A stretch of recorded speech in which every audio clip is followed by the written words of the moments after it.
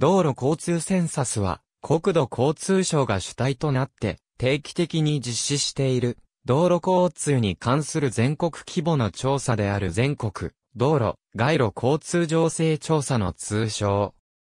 日本全国の道路と道路交通の実態を把握し、道路の計画や建設、管理などについての基礎資料を得ることを目的として実施される。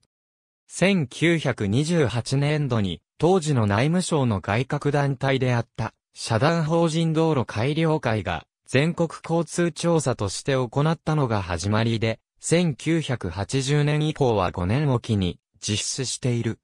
原則として、周期の平日及び休日の任意の各1日で実施される。最新の調査は2015年に行われた。調査結果については集計後に国土交通省道路局から公表される。調査内容は交通量、旅行速度などの実測を行う一般交通量調査と地域間の自動車の動きを把握する自動車機種点調査に大別される。